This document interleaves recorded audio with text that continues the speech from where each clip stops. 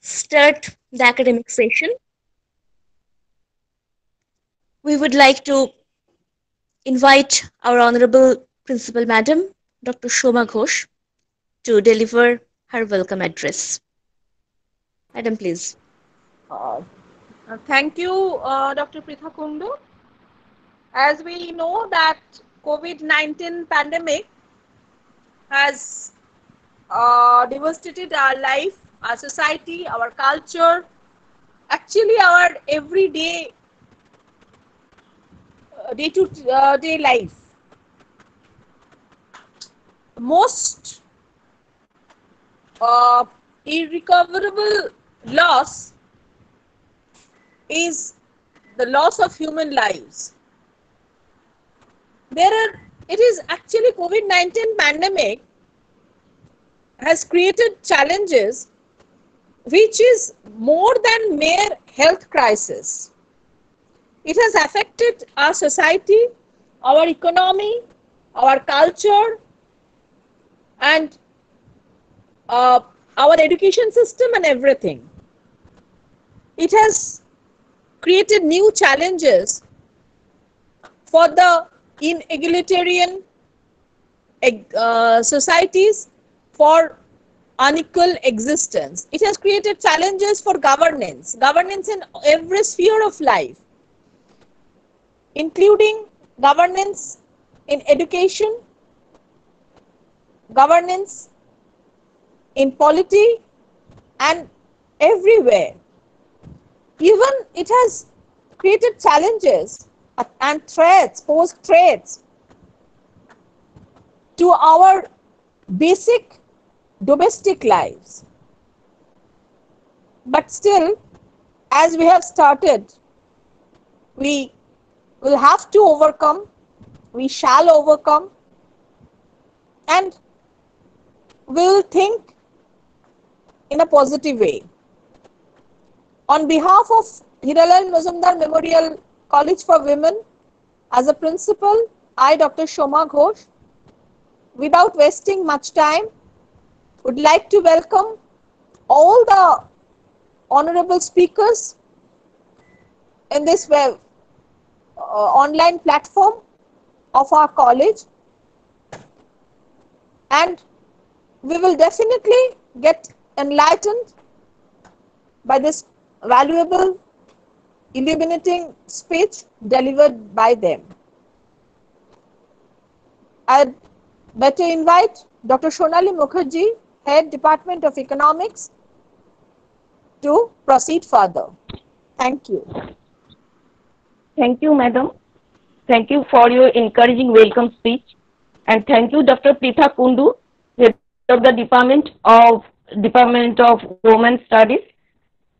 আজ আমাদের প্রথম বক্তা হলেন ডক্টর অরিন্দম মন্ডল আমি একটু বাংলাতেই বলে নিচ্ছি কারণ উনি ইউএসএ থেকেও বাংলা বলতে খুব পছন্দ করেন দেখলাম আমরা খুবই গর্বিত তাকে আমাদের মধ্যে পেয়ে। ডক্টর মন্ডল, অ্যাসোসিয়েট প্রফেসর আর এবং chair of the economics in department of Siena college, New York. তিনি দিল্লির সেন্ট স্টিফেন্স কলেজ থেকে স্নাতক করেন এম এ ডিগ্রি লাভ করেন দিল্লির স্কুল অফ ইকোনমিক্স থেকে। নিউ ইয়র্ক স্টেট ইউনিভার্সিটিতে তিনি পিএইচডি করেন।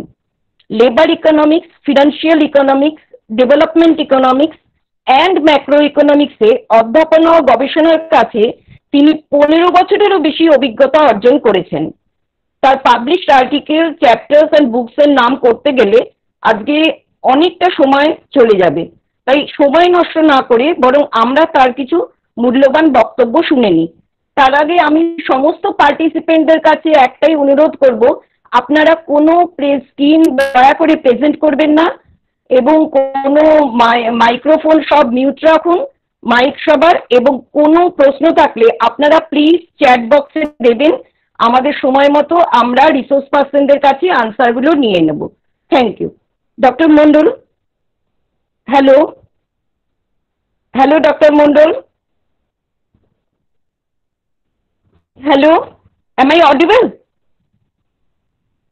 Yes, you are absolutely audible. Uh, sir was here, so why is... Hello, Dr. Mondal. Uh, Ah, I mic Doctor- also on. I, I welcome Dr. Arindam Mondol on behalf of the entire team of Hiralal Mazumdar Memorial College for Women. And we are eagerly waiting for his illuminating speech. Over to Dr. Arindam Mondol.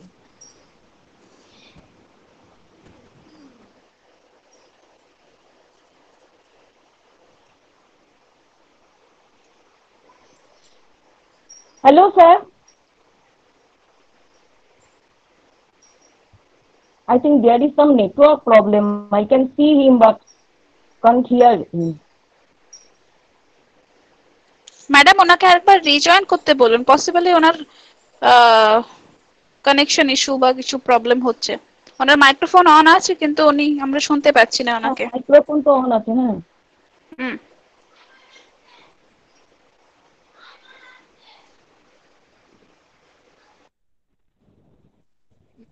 একবার ওকে resign করার কথা একটু বলবেন? হুম হুম হুম বলছি। আমাদের কথা শুনতে পাচ্ছেন? আমি তো শুনতে পাচ্ছি। না ডক্টর দেখছি আমি। দেখছি আমি রিজয়েন করছি বলে লিখেছেন। লিখেছেন উনি আমি রিজয়েন করছি।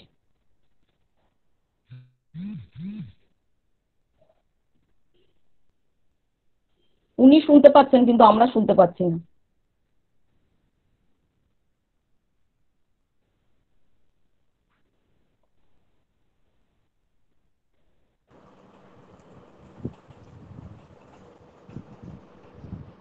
ম্যাডাম ওনাকে একটা কল করুন না উনি লিখেছেন যে রিজয়েন করছেন বলে। বলছেন যে আমাদের কথা উনি শুনতে পাচ্ছেন, কিন্তু ওনার কথা আমরা শুনতে পাচ্ছি না। ও আচ্ছা।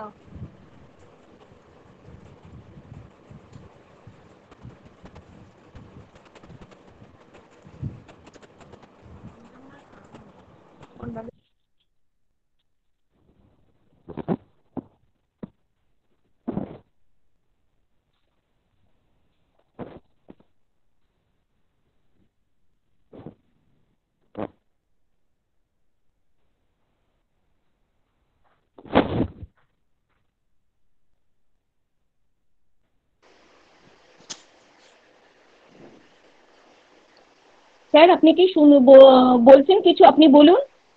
হ্যালো স্যার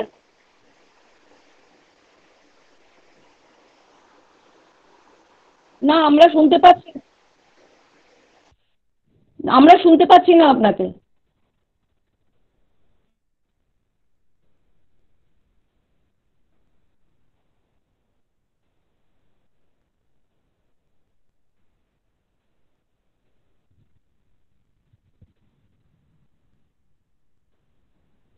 আপনি এখান থেকে কিছু করা যাবে? না ম্যাম স্যারের ওখানে নেটওয়ার্ক কোনো ইস্যু হচ্ছে সেই জন্য অডিওটা আসছে না। তাহলে কি আমরা নেক্সট স্পিকারকে আগে করিয়ে নেব? ও স্যার লিখছে okay let me try something else ঠিক আছে আগে চেষ্টা করি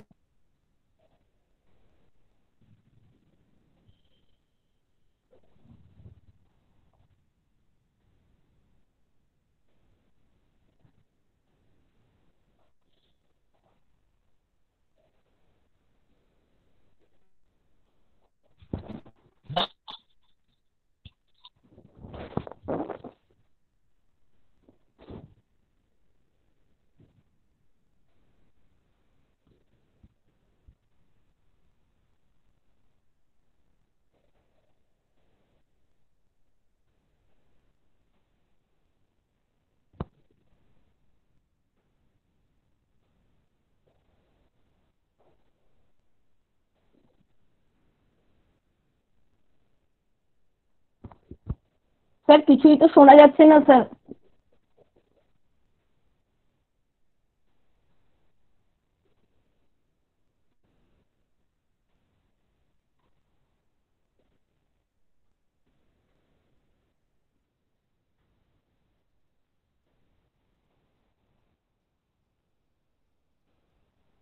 স্যার আমরা কি তাহলে নেক্সট স্পিকারকে একটুখানি আগে বলিয়ে নেব শাশ্বতী ম্যাডামকে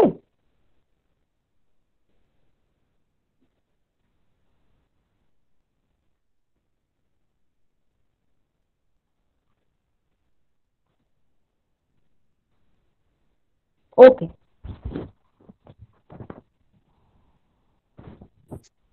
শাশ্বতী ম্যাডাম একটু চেক করুন। স্যার কাইন্ডলি একটু চেক করুন আপনার মিকটা পারমিশন অ্যালাউ করা আছে কিনা? মনে হচ্ছে পারমিশন অ্যালাউ করা নেই। সেই জন্য আপনার মিকটা নিচ্ছে না স্যার অডিও পারমিশনটা একটু চেক করুন।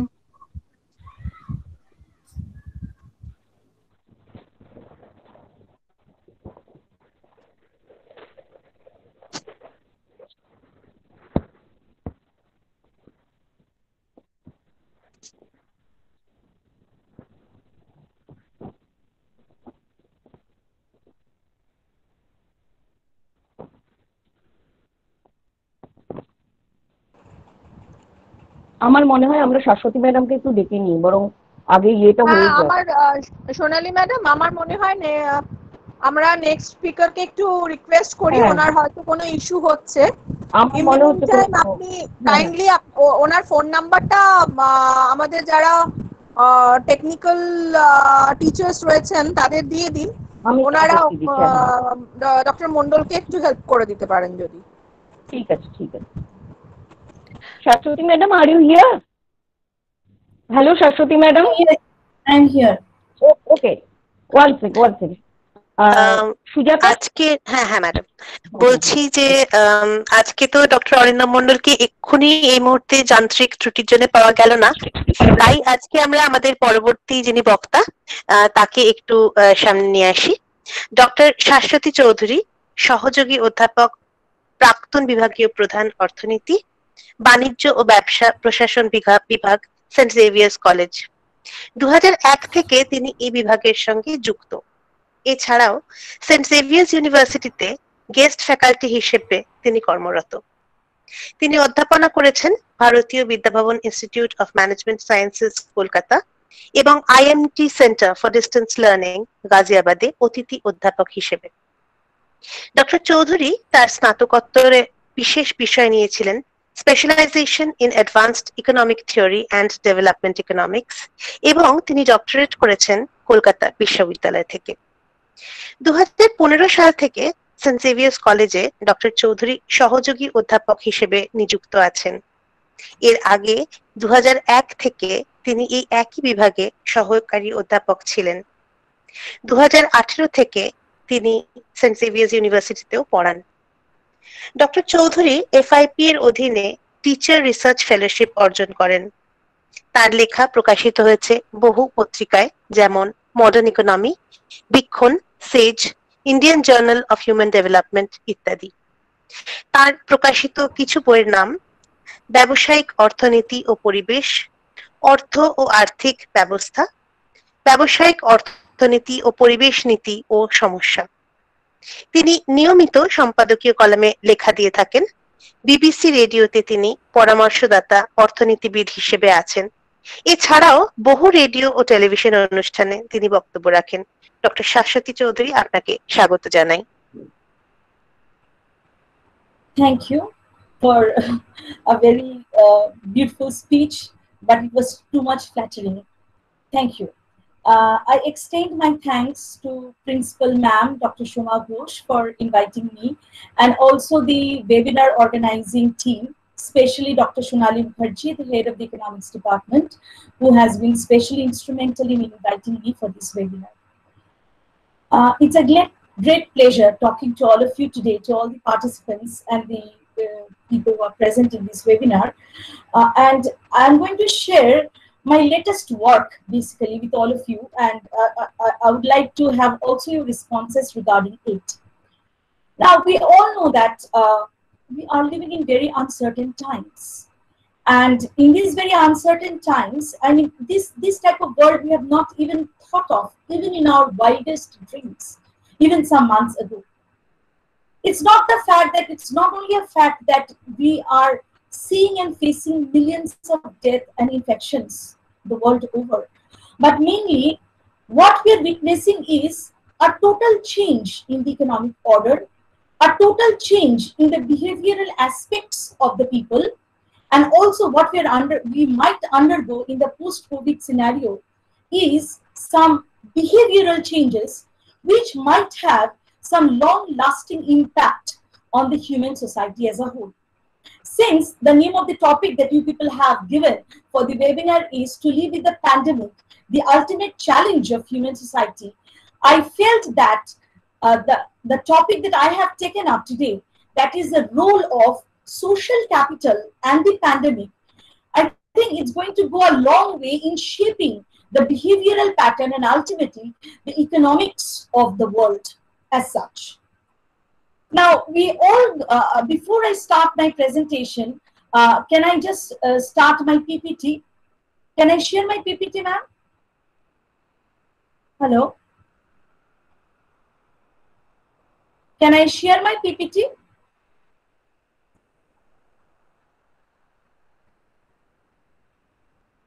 Hello, can you hear me? Yes, yes, you Atri can. বা পূজা একটু ম্যাডামকে পারমিশন দিয়ে দাও পিপিটি শেয়ার করার জন্য I'm sharing my PPT. Okay? হ্যাঁ, yes.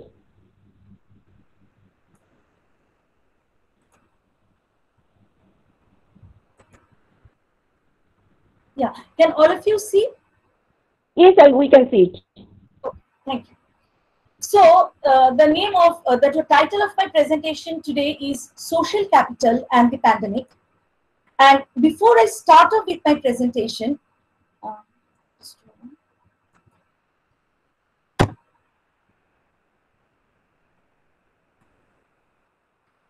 Uh, I would like to say that the most important thing that we are very much interested in is how will the social and economic behavior interact in times of the epidemic. So this is very important. Basically, we want to understand the dynamics of the infection, and that is that will be presented to you in a model which is very much uh, like popular in uh, epidemiological circle, and it is known as the SIR model. S-I-R. Here, SIR basically denotes susceptible, I denotes infected, and R denotes recovered. And this SIR model is an example of a simple search matching setup. And this model, you know, is very much similar to the diamond model that was proposed by a Nobel laureate, uh, Peter Diamond, in 2010 in his seminal Journal for Political Economy paper. Okay, where he says that it's a very he he he he talks about an island uh, because island here will denote a closed economy setup. And he says that in that island, there are only coconut trees. In that island, there are only coconut trees, you know. And uh, there's a taboo in that island that anybody who will uh, who will try to eat or pick coconut from a tree, basically he cannot uh, consume that coconut until and unless there is also another person who will be consuming a coconut. That means there needs to be a matching between two people who goes up the trees, coconut trees, picks up coconut, then exchanges each other coconuts and have it. So that is the societal taboo in that society, according to Peter Diamond. So we see that, and there is a cost of uh, climbing those trees. So if I do not find a matching person who is also going to climb up a coconut tree and get a coconut and then exchange it with my coconut and then only I can have that coconut. So there is no point me only climbing that tree. So we need to have that matching person. So this search matching setup was explained to us long ago in 1982 by Peter Diamond. Now we can use that simple coconut diamond model also here. So here, as you can see in my slide, I have the change in the infected population. Now in this pandemic situation, what do we see? We see that there is a pool of infected population and there is a pool of people who are not yet infected but are susceptible to this infection. So, as this susceptible population comes in contact with the infected population, what we essentially see is that the infection rate rises. Okay. So here, my beta denotes the contact rate or the infection rate. And this will obviously come only when the susceptible population comes in contact with the infected population. So we have beta into susceptible population into the infected population. And we also have a recovery rate of the infected people.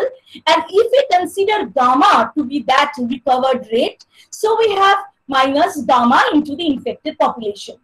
So we say also in these COVID times that a fast increase in the infected population when both susceptible population is high and the infected population has reached a sufficient threshold level. So we find that in this model, the rate of infection is given by ultimately at the end of the day is given by beta by gamma. But the whole situation changes. The dynamics of the whole situation changes once we bring in the concept of lockdown. Because as soon as we bring in the concept of lockdown and social distancing, the whole dynamics undergoes a change because lockdowns can be potentially very effective because they can we can reduce the susceptible population coming in touch with the infected population and if I consider theta to be the lockdown rate, and if the value of theta is less than 1, then we can say that the infected population will gradually get reduced. And before the lockdown, my key parameter was beta by gamma, but now my key parameter has changed into beta by gamma into theta square, which is less than the previous R. That means my infection rate is slowly going down according to this model. Now, why am I bringing all these mathematical calculations here? Just to enlighten one very simple thing. Now, if you look at this graph, this graph is that of the Hubei province. I hope it uh, rings a bell uh, in all of your minds because Hubei was the first, Hubei province was the first province in China where the COVID-19 virus was detected. Now, this whole data is from the Hubei uh, province, and here we find, if you look, you might not be able to read the numbers correctly uh, because it's very uh, uh, not very clear, very hazy. But I think you can look at the colors very clearly. If you see here, you can see the purple color. Purple color, that means at the initial stage when the virus was spreading in the Hubei province, we find the rate of infection rising very fast here the value of R0, the, uh, sorry, the value of R, because lockdown had not yet started, the value of R was very high, around 3. So till here we find the value of R around 3, very high, because they have not yet started with the lockdown. Now, when the Chinese government realized the highly infectious nature of the virus, they went for a total lockdown in the Hubei province. And what we noticed that in the later part, as lockdown slowly started to show its uh, effects, we find that slowly if you look at the rate part, the rate part is the rate of infection. Now we are looking at not R, but the later one, R0. It has fallen below 1, okay? And the yellow part, it is falling very rapidly. That is if R0 is below 0.5. So this red part is if R0 is below 1 and this yellow part that uh, infection rate will fall all the more faster if R0 is below 0.5. So that is exactly what happened. Now, why basically I'm showing all these things to all of you is basically this, that beta, that is a rate of contracting the infection. It is not simply a immunological parameter because it also depends on how successful the economies have, have been effective in doing the lockdown in their respective countries. That is a point that I'm, I'm basically trying to hammer at. That, uh, okay, uh, the immunological part of the virus is very important, no doubt. But if we had gone effectively to with the lockdown and the social distancing norms, then obviously we could have seen some effect in terms of the rate of infection slowing down. And yes, many economies in the world have really seen this because we find that uh, when the unlocking phase of uh, the economies have started all over the world, we find that there is a sea change in how people are now experiencing their lives. Uh, uh, the workplace here now digital uh, digitalization is going to play a very very important role even in factories they are trying to look at those type of work where less contact is possible, so on and so forth. So every sector in the economy is gearing up to face this challenge, keeping in mind that uh, the less contact is made, the more and more uh, the rate of infection in the economy is slowly going to go down. So this is it. So we are now basically we have entered a, a, a, a post lockdown uh, a post lockdown scenario right at this point of time, and uh, we have also entered a situation where basically we uh, we can now analyze whether lockdowns were effective in bringing down the infection rate all over the world. Because as we know that this was the first time in the world that we are witnessing uh, a lockdown of this kind, where each and every economy had gone under lockdown. So we, we do have a large number of countries at this point of time to analyze this phenomena. Now, after all these things, what I will do now is I have resorted to World Value Survey, WVS. They provide data, it's, it's available in the internet and it's free data. It provides data on socio-cultural and political change worldwide. It consists of national sample surveys in over 90 countries, which uses a common questionnaire with variables on beliefs, values, economic development, democratization, religion, uh, social capital, gender equality, you name anything, you get in that uh, questionnaire, in the data that they have. Now, in that data, what has been pointed out is very important.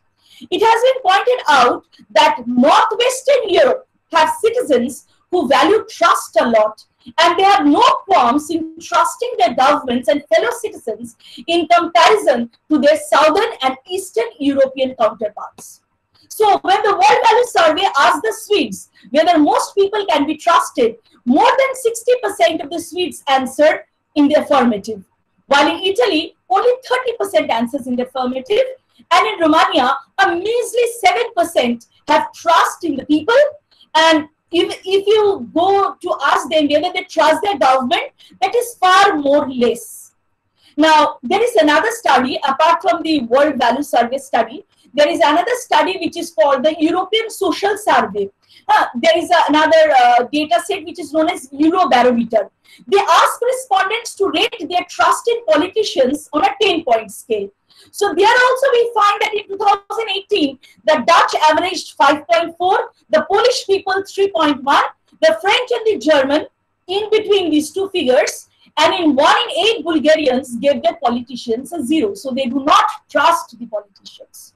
So what exactly I am going to bring into my uh, uh, into my analysis is two types of numerical values. One is I'm talking about trust and these trust values I have bought from the sources that I've already mentioned. And I'm going to talk about how effective the lockdown was and how to understand how effective the lockdown was. I take recourse to this uh, government response stringency index. Now, this data is collected from the publicly available information. This is also freely available by a cross-disciplinary Oxford University team of academics and students from every part of the world okay? And it is a composite measure based on nine response indicators. So uh, within that nine response indicators we have school closures whether they had closed the schools at the right point of time whether workplaces were totally closed whether the country had gone for travel bans. So all these things were taken. These are some of the three important parameters within the nine parameters. And they have a value from 0 to 100 and 100 implies the strictest response now, I have no qualms in sharing with all of you that India had, in terms of the government response stringency index, the highest score. One of those countries, I mean, many countries had a good score. India was around, had many days where its uh, response stringency index was 100. So which implies that this is just a number, this scoring, it does not in any way can be interpreted as effectiveness of a country's response. It tells us that country has closed the schools, the workplaces, had given travel bans, but how if it was effective in that economy, that can also, that cannot be analyzed from here. That can be analyzed from the next figure that I have, that is whether you really trust the government in doing that. So that is what I, I, was telling you people. This is India's government response stringency index. You can see that from March onwards, the response stringency index is going on higher. So from the time our lockdown started, you can see it's 100. March to April, it was 100, 29th April. 2020 it was 100, then it was a slight decline. And then gradually the unlocking phases and gradually you can see the decline in the context of India. So in the context of stringency index, uh, we have done fairly well.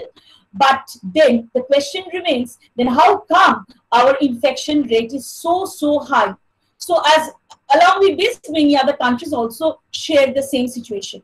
So I'll be focusing on some of the countries. This I'll come back to this slide where we have the stringency and the trust parameters, and this is the infection parameters. Okay, uh, I'll just come. I just want to say one thing. What has been found out basically that in countries where you know the lockdown stringency or or or in other words if i say the trust is very low in those countries the stringency of lockdown has been essentially been very high. And in countries where trust levels were low in those countries i mean uh, uh, the stringency index was low. In those countries the trust levels were essentially high. So this uh, a phenomena was more or less observed and that set me thinking. Because then I, I went into the various countries to find out what type of stringency they were following and what was the trust parameter. If i take the classic example of romania romania is an eastern european country now, uh, I hope many of you will remember the Romanian dictator Nicolae Ceausescu. Now, after just after the overthrow of Ceausescu, you know, there was food riots in the country, and people experienced uh, uh, a scarcity of food like anything. You know, and so they they were the first country in Europe to really take the COVID-19 virus very seriously because they had seen quite worse times in uh, in uh, in the past, and so and they were also very suspicious of institutions. They were very suspicious on the government. The people are unable to rely on public goodwill, and uh, the government also responded to the COVID-19 with a very very harsh lockdown. How harsh their lockdown was can be explained by the fact that if you look at the fines, if you look at the fines that were issued from March 24th to April 19th, what you will see that around 200,000 fines were imposed worth 85 million dollars. So there was, I mean, uh, I mean, fines because even if they had to go out from their homes, even to buy grocery, they had to fill up a form where they have to say the reason why they are going out of their homes. So this was the stringency of lockdown that Romania faced. And Barbu Mateescu, a very, very uh, well-renowned politi- political sociologist, says that Romania is the only country in Europe which was uniquely equipped to face this pandemic because of their low trust. Okay, in the government, and so they really uh, followed each and every norms that was stated. Now, if I look at uh, if I look at other countries here, uh, we find that Germany is a very high trust country. So they went for a less stringent lockdown, relying on the good intentions and the value of their citizens. Germany did not need any sort of provocative policing. While you know, if I look at Netherlands, you can see I've written here, they implemented what they called an intelligent lockdown because uh, the Dutch government felt that uh, the people are not children and they understand the importance of the lockdown and they will likewise follow. So the government did not go for any sort of harsh lockdown. They intended, and why they did not go that? Because you know, no government wants to go for a lockdown because that is going to harm the economic engine of the country. So obviously, if they can have people in the economy who can be, behave intelligently, who can behave responsibly, so they were ready to go with it, and hence they can keep the wheel, uh, uh, the wheels of their engine, economic engine running. And if you know, I mean, Sweden is the one country in the world which basically did not have any official lockdown at all because they believed in freedom under responsibility. So we found out these are the countries which did not really uh, go for that harsh lockdown.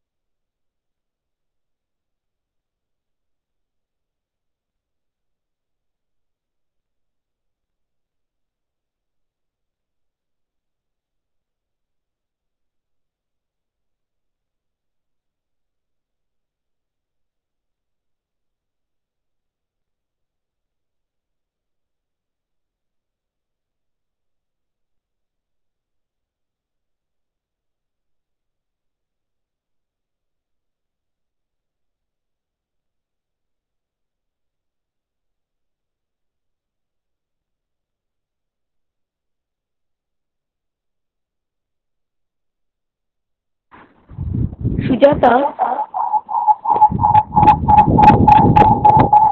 হ্যাঁ দিদি বলো আমি আছি.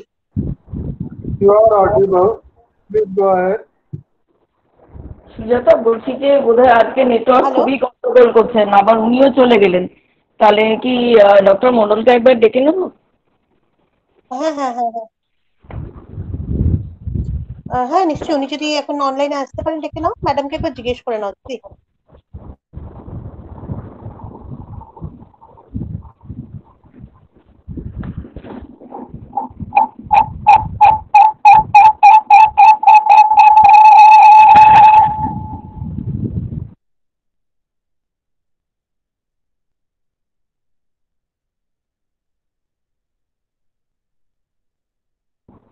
Shashwati madam, আপনি কি শুনতে পাচ্ছেন?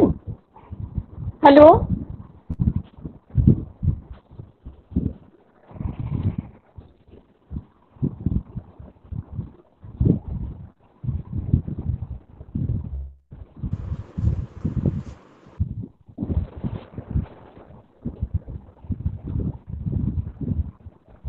Hello? হ্যাঁ আপনার কি নেটটা চলে গেল? মানে কিছুই দেখতে বা শুনতে পাচ্ছি না আমরা এখন। হ্যাঁ।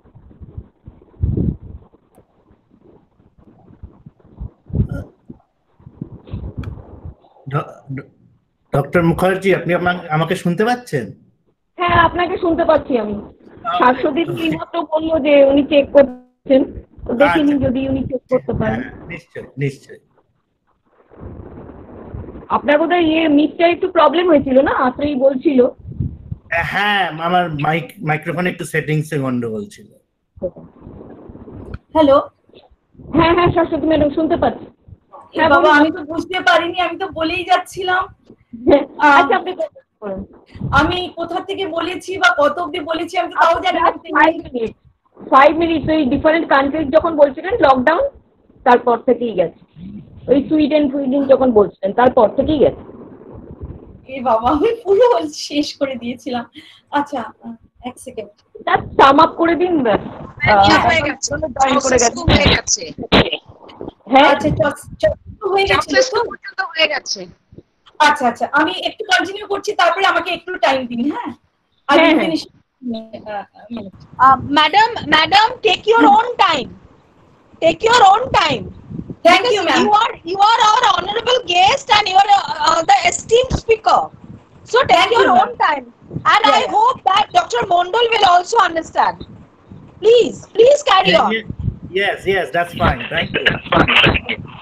okay i am uh, i i as as people have told me that uh, i have finished with romania ceausescu so i will start off with the high trust countries.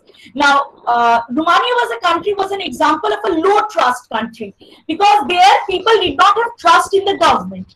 Now if i look at certain countries which are which are very high trust countries like the mainly the three countries i'm going to explain here germany netherlands and sweden now, we find in the case of uh, Germany, uh, it's a very high trust country, uh, but it had a very lenient lockdown because it uh, and it also clocked the least fatality rate. You know, the main reason for Germany clocking a very low fatality rate is because it basically followed the South Korean model of testing and tracking. Okay, and people had huge trust in the government because they think that there is rational decision making at the highest level of the government. So they followed blindly what the German government told the people to do. And so we find that uh, Germany mirrored a better picture of the pandemic relative to their European counterparts.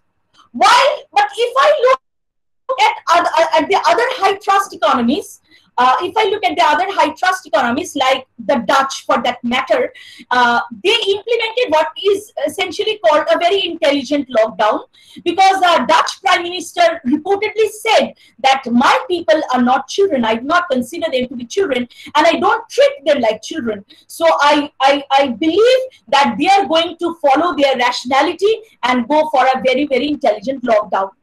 And as for Sweden, I know all of you know that it was one of those countries which basically had no government lockdown at all because there the people believed under freedom under responsibility. That is the quote that is used by the Swedes. That is freedom under responsibility. So they thought that the people were responsible enough to understand the norms of lockdown and likewise behave. So Sweden and Germany and uh, the Netherlands, they were European countries which never reached maximum stringency because the trust level in these countries, they are basically the high trust countries in Europe. Now, if I if I look at this uh, nature, does it really imply that uh, uh, uh, that because they are very high trust countries, they will not be having uh, corona infection death at a very high level? That was not the case. Germany did have low death rates, but if we look at Dutch, if you look at the Netherlands and the Swedish people, we find that their death rates were very high. Their infection rate, fatality rate, everything was quite high. So we can say that, finally, we can say that trust, I cannot rely on trust only to find out that uh, infection rates are going to go down, even if I do not impose an effective lockdown. Because trust basically is acting as a double-edged sword. Because on one hand, because there is trust and I'm going for lenient lockdown, my economic engine is running. But on the other hand, I can falter in terms of the coronavirus infection and the fatality rates. So instead of reaping the dividend of high trust, these countries might have just been pushed to the rear and lulled into a false sense of security. High trust has lulled them into or tempted them into a sense of false security, and that resulted in the high level of infection in these countries. So, at the end of my speech, uh, basically, the most important thing that I would like to point out is that at this point of time, as I have said, our society, our behavior is undergoing a sea change. So we need to understand our social fabric, value it, and this basically has given the birth to the concept of social capital. Because we also feel that social capital can contribute to the health outcomes of the people at the micro level. Even the World Bank have uh, propounded the fact of social capital as a missing link in development. So in the context of the present pandemic, uh, a higher social capital could imply greater in-person interaction and a risk of contracting the infection. That's there. But on the other hand, as I have discussed earlier, social capital can endow individuals with a greater concern for others as it is associated with greater trust and relationships within a community. This may lead to more hygienic practices and social distancing, leading to lockdowns becoming more effective and meaningful. As I have referred to the World Value Survey data, in that data, you will, if you ever go and visit the data site, you will find data on trust. How can I trust my neighbor? How much do I trust my neighbor? How much do I trust a stranger? How much do I trust my friend? How much do I trust my relatives? Everything is there, which implies that suppose uh, in these pandemic times, I have contracted this infection and if I live in a society where the trust parameter is very high, then my neighbors will trust me wholly, thinking that if she has infection, she will never come out of the house. She is never going to do anything that is not the norm during these times. Okay. So if this trust parameters is high, if our social capital is high, we can fight this pandemic in a much more better way. Thank you. Thank you, madam, for such a informative session despite the many hurdles. Thank you very much. And I think there is no question in the chat box. So, may I request Dr. Mondal? Hello, Dr. Mondal, can you hear me? Y- yes, I can hear you. Can you hear me? Yeah, you can proceed, sir. Okay, thank you. Yes, do you want me to start? Yes, yes, sir. You Uh, start. Yeah, the first, uh, uh, sorry for this uh, mishap. Uh, you just realize like some of the challenges of COVID-like situation, even the technology sometimes fails.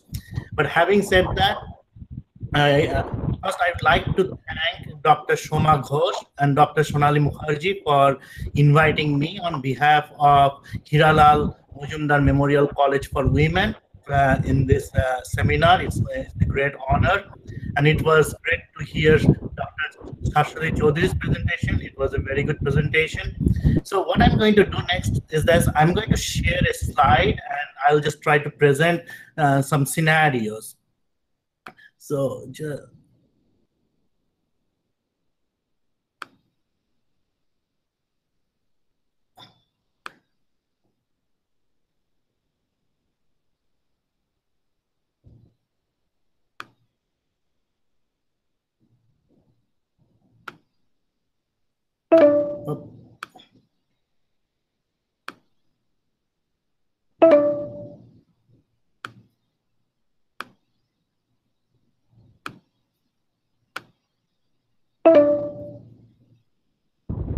আপনি স্যারকে একটু বলে দিলে help হবে বোধহয়। হ্যাঁ আমি এখনই ইয়ে করছি এটা এই আমার ও আচ্ছা স্যার কোনো ডিফিকাল্টি নেই তো? ও ইউ মাস্ট আমাকে পারমিশন চাইছে। You must grant permission in order to screen share আপনি স্যার অ্যালাউ করে দিন এই তো শেয়ার করতে পারমিশন হ্যাঁ আমাকে পারমিশন চাইছে। স্যার ওটা আপনাকে অ্যালাউ করতে হবে আপনার সিস্টেমে কোথায়? ও।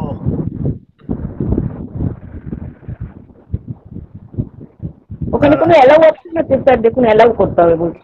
হ্যাঁ আমাকে কিছু অ্যালাউ দেখাচ্ছেই না।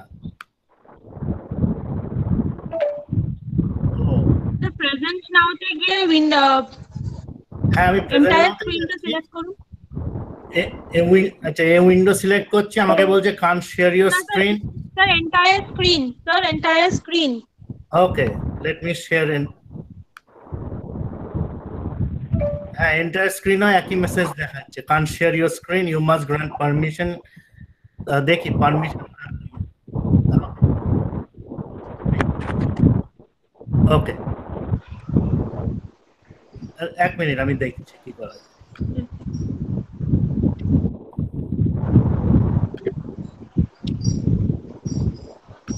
হ্যালো সরস্বতী ম্যাম সব প্রেজেন্টিং করেছেন? কেন এবার দেখা যাচ্ছে? না না প্রেজেন্টিং করেছেন? Yes, হ্যাঁ sir.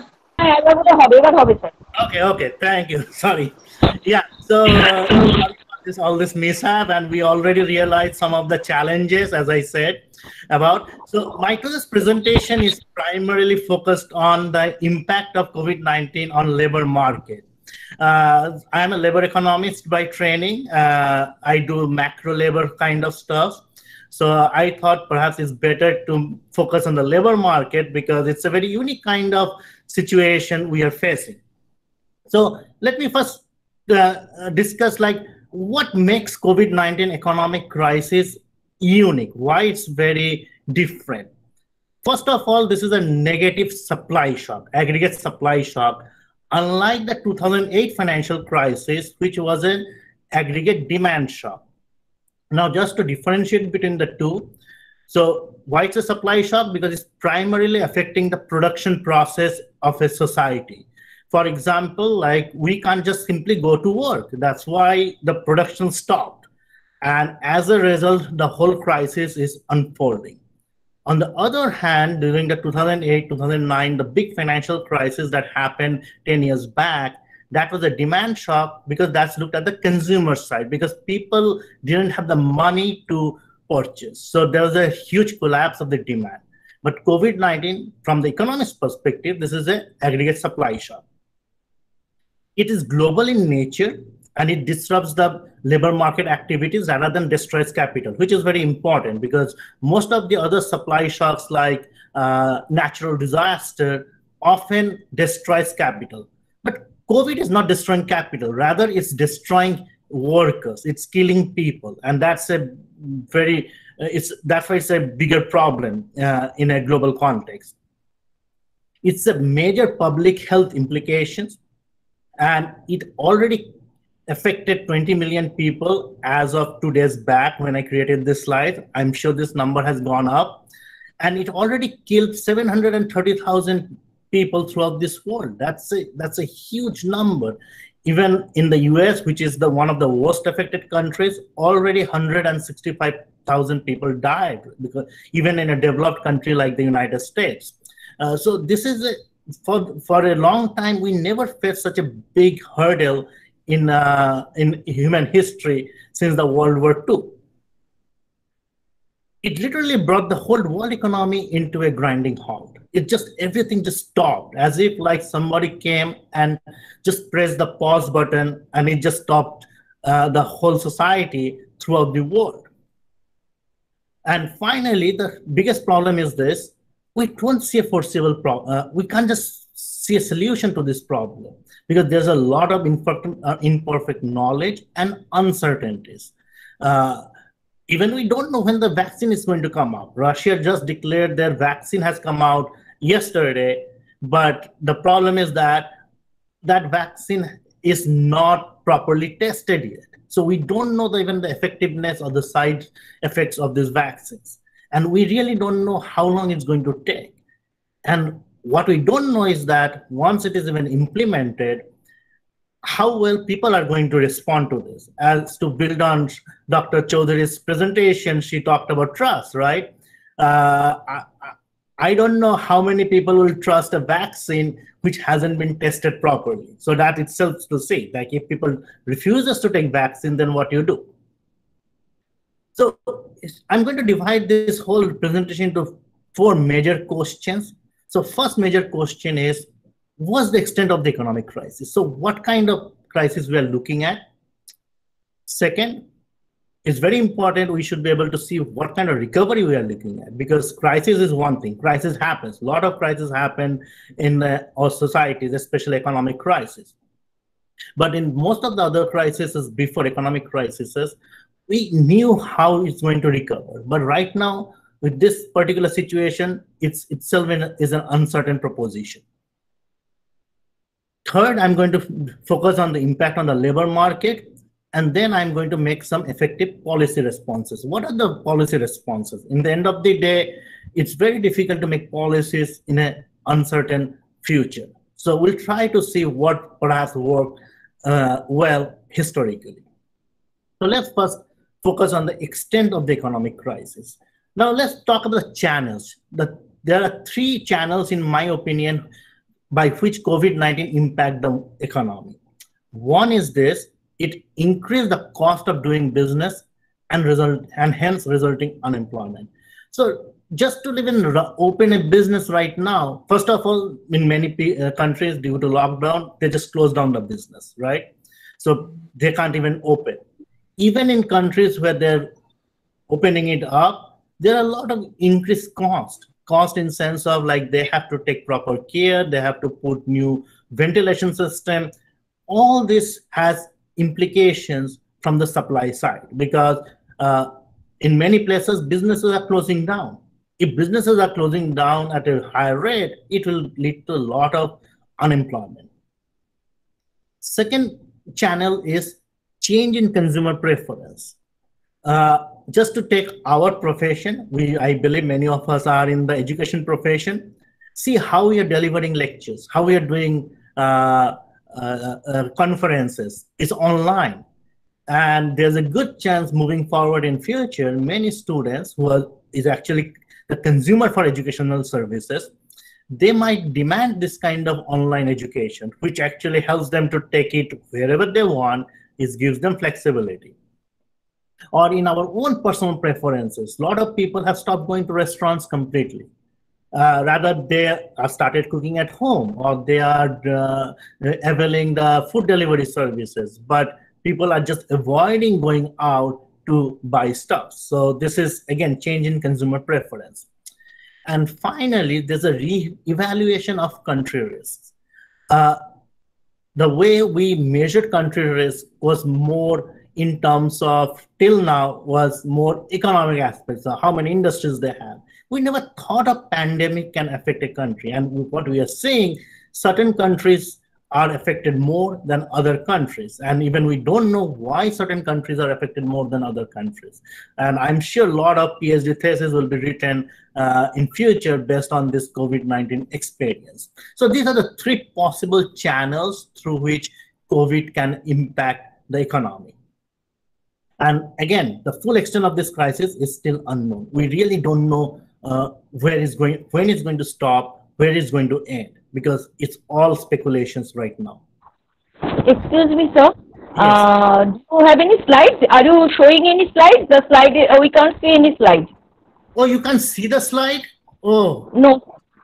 oh, oh, ho, ho, ho. I'm sorry. I don't know what's going on.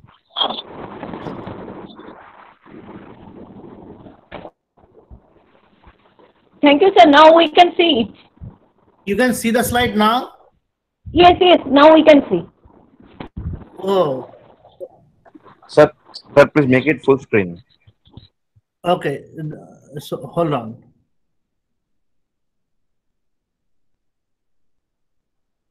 Can you see now?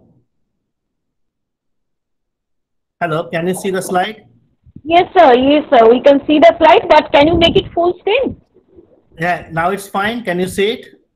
Yes, we can see it. And is we it can see it, sir. Please continue.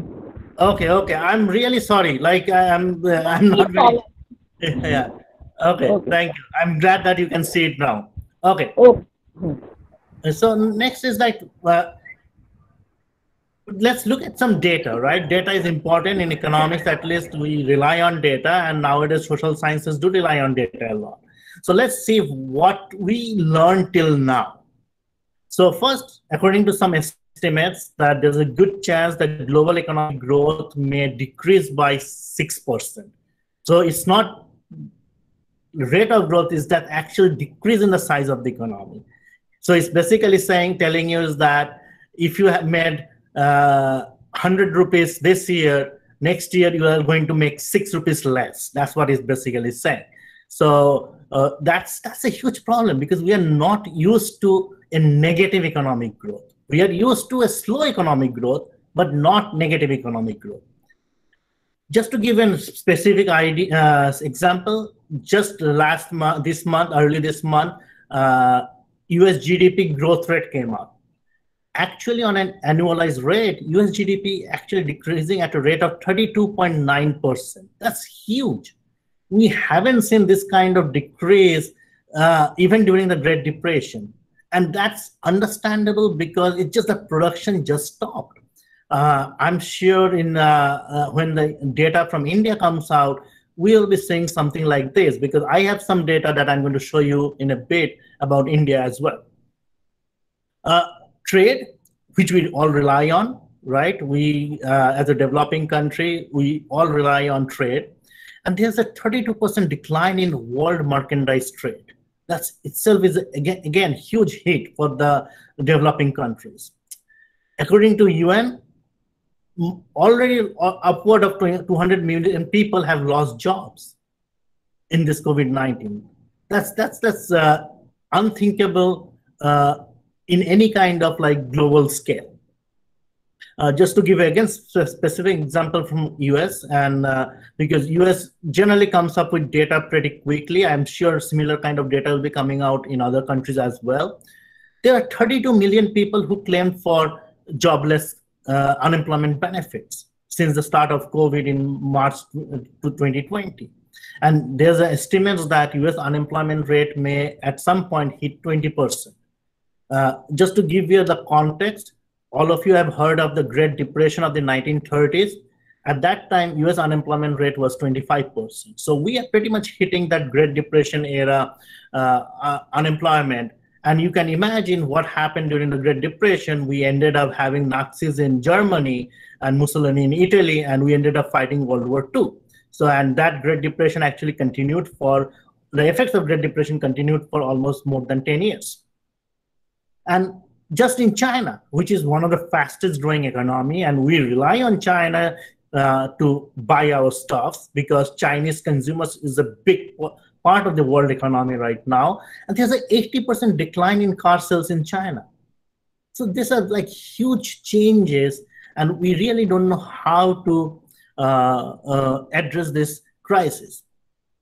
So, and as I said, like world economy, we are in a historic recession, and it is comparable to the Great Depression that we had almost 70, 80 years back.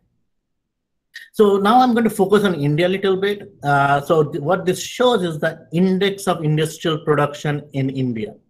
Uh, so this is an index. So you have to compare. Yes. Hello. Can you hear me? Yes, sir, we can hear you. Yes, sir. And you can see the slides, right? Yes, sir. Okay.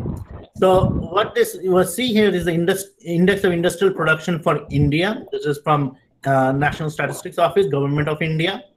Uh, so in January 2009, this index was hovering around 140. Okay, so this is an index. So you have to compare with this 140.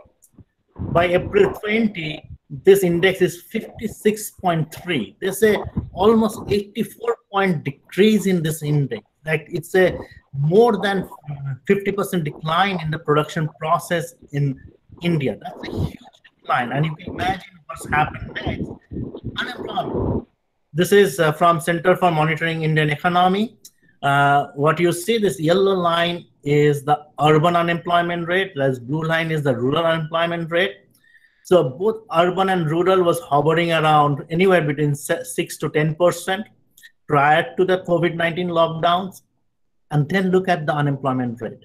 In uh, urban areas, we're hitting anywhere between 25 to 30%, so is in the rural areas. Uh, now it started coming down because we came out of lockdown.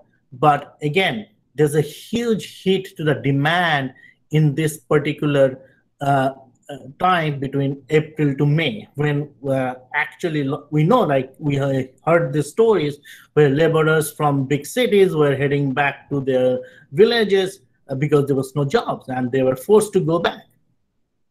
Uh, finally, the uh, conf- how confident are Indian consumers? again, this is uh, a time series data around March uh, uh, 2019. According to current situation index and futures expectation, current situation is what you expect about the situation today. And future expectation index, the yellow line actually measures what you expect the future looks like. Those are pretty high, right? India had like in more than 100 in terms of current situation index and close to 130 for future expectation index. But today, uh, around April 2020, we are looking at a CSI of 63.7 instead of 100 plus a year back. Uh, sir, may I disturb you? It is the same slide or the next slide, sir? which one? Is this Uh, we are seeing the extent of economic crisis. Uh, oh, those so this yes, sir. slides are Thank not you, sir. okay. Can you you. see right now? Yes, sir. How confident are Indian consumers? Okay, okay. So it was not showing up. Okay, yes. Now, okay, so actually, let me do this way, in that way, and just let me know if you don't see if, if there's a mismatch between what I'm saying. Yes, sir. Yes, sir. Okay, sir. I'm sorry for that. Okay. Uh, so this is uh, the uh, consumer confidence index that we are looking at. And clearly there's a huge decrease in confidence. And we all know if consumers are not confident, they are not going to consume, they are not going to buy stocks. Uh, and uh, what would be the impact? Uh, so that, and that's a huge challenge for economists. So next, I'm going to focus on the recovery. Uh, so there are challenges to even predict the recovery. So the best case scenario is a V-shaped recovery, which means that it's very sharp decline in the economy, but the recovery is also equally sharp. So it's kind of V-shaped. So it goes, comes fast, it goes away fast. So that is the best case scenario. But unfortunately, we are not seeing that. Rather, we are seeing more likely scenarios are either U-shaped or W-shaped recovery. Rather, with the updated data, we are looking at U-shaped. That means it decreases, then it stays low for an extended period of time, and then it again started going up. W-shaped would be, uh, my personal hunch is that W shape is not the reality anymore. It's under W shape, it would be a steep fall, steep rise, and a steep fall. The reason for the steep rise and steep fall in a very short period of time, expectation was that new waves of COVID is going to hit. And that actually happening right now. We are going through the next phase of COVID throughout the world. And again, by October, November, flu season is going to start in the Western world. And we don't know how COVID 19 is going to react during the flu season. And no way we can vaccinate all the people in this world in next six months. Uh, that's simply impossible. So we are pretty much looking at U-shape. And let's hope we don't have the L-shaped recovery. L shape means that steep fall and it remains low for an extended period of time. Let's hope that we are not ending up in that situation.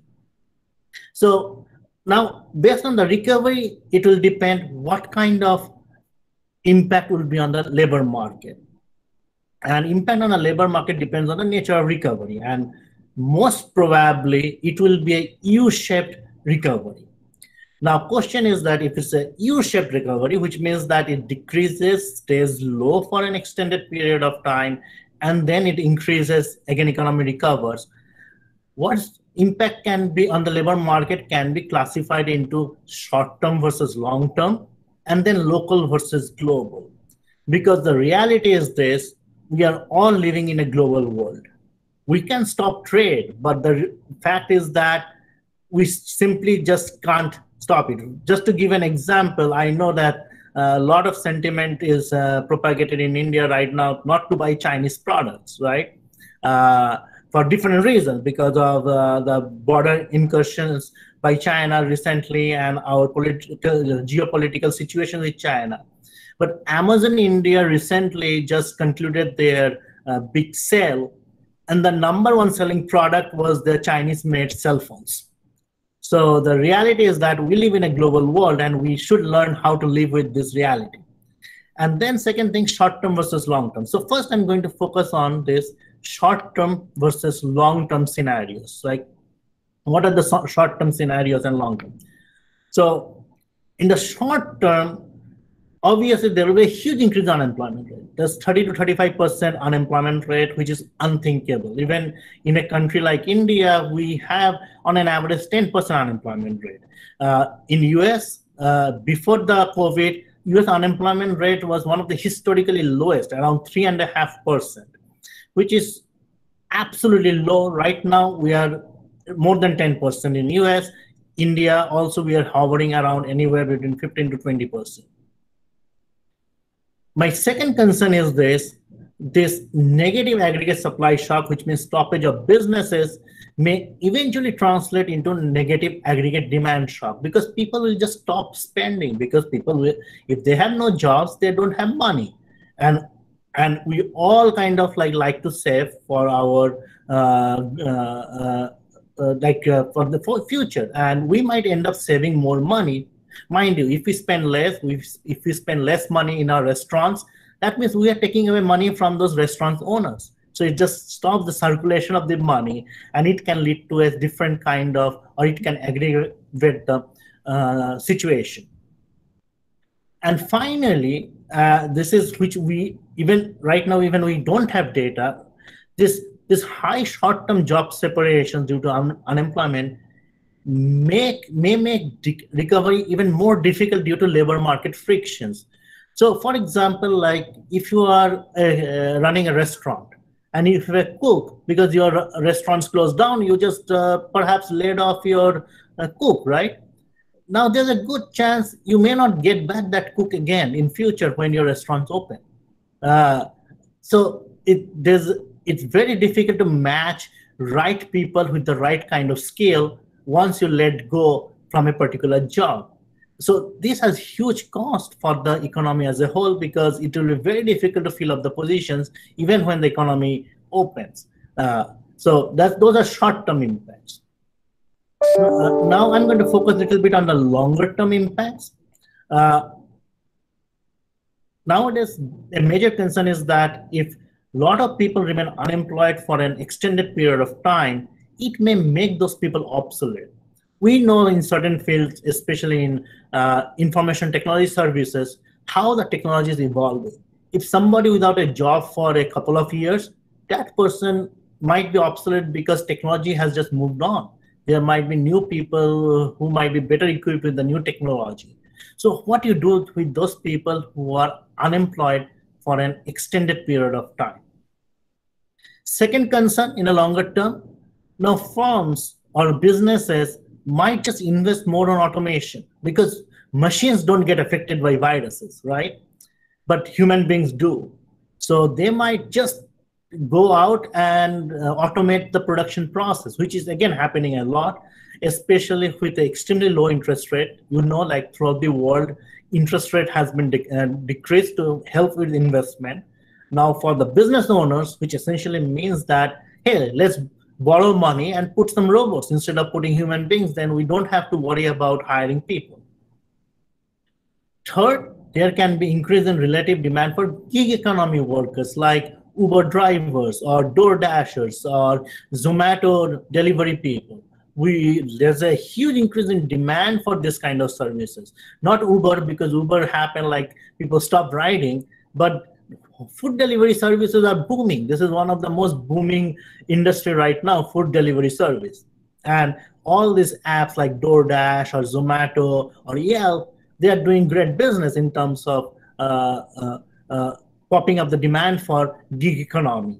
But again, we all know this gig economy, which is very uncertain, very insecure, not very traditional. It's it, it, it, it has a lot of human cost. Then we have a negative impact on labor morale and productivity. We all know like how this lockdown situation is affecting our mental health because people are stuck in their homes. There's a lot of uncertainty. Many people don't have jobs. So it's going to affect productivity. And finally, what's uh, another important thing is the rise in income inequality, and which might actually deteriorate our faith in our existing institutional framework, right? We just increase the distrust for government, their failures. And in the end, it might lead to more dictatorial uh, or authoritarian powers, which we are seeing a lot. We have countries like Brazil, even in US with Trump, right? Like uh, there are a lot of tendencies toward this authoritarian rule, even within a democratic uh, framework. That's that's that's these are some of the longer term impacts of impact of COVID. As I said, a Great Depression led to the World War II. Uh, so if we don't curtail the negative impacts of COVID-19 sooner, we really don't know what's going to happen next. Let's now focus on local versus global impact. And locally, what's going to happen? So certain industries will be wiped out. The countries or cities or towns which rely on tourism for their uh, economy is going to be obliterated, right? It's like how many people are going to go to uh, for it, uh, uh tourist places? Very few. Airlines, airline uh, travel has declined more than 50%. People don't, don't feel safe to travel uh, retail sales. People don't want to go to stores anymore. Everything they are basically ordering through online. So that's again basically again this will be the pocket because a lot of local businesses will be suffering. Uh, and another impact can be like there can be a decline of bigger cities. Already like what we are saying people started moving out from bigger cities because most of the time people live in bigger cities because of work situations if your work is can be done remotely why you somebody needs to live in a big city? So there's a good chance this pressure on big cities might actually decline but that can have implications in terms of property values. If people stop living in bigger cities that might have implications in decreasing the property value. And we all know that if we feel less wealthy we are going to consume less we are going to spend less. So this has impact in terms of again on the local economy. Uh, some of the global impacts obviously promotion of uh, remote work culture. Already google said that they are operating virtually till 2021 amazon also said the same thing. Uh, there are talks going on right now of running the whole colleges and universities virtually. Uh, so, and think about this like uh, when uh, work can be done from anywhere in this world, so this national boundaries vanishes. So many, so somebody sitting in India might be doing work which is based my, out of Australia or but in maybe Vietnam or maybe Malaysia. So uh, this opens up opportunities but also it opens up risks and uncertainties for the working class in this world. Uh, so outsourcing is going to go up because right now you really don't need to be in anywhere uh, specific to do your job. You can be pretty much anywhere in this world. Uh, second, it drastically going to reduce both domestic and international migration. Uh, we all know that both domestic and international migration plays an important role in terms of uh, ensuring that uh, that right kind of resources are available all the time. If think about if within India, uh, whole the rural uh, migrating workforce stops coming to cities to do work, and we even don't know how to uh, carry out the businesses in our urban setup anymore. Then disruption of supply chain.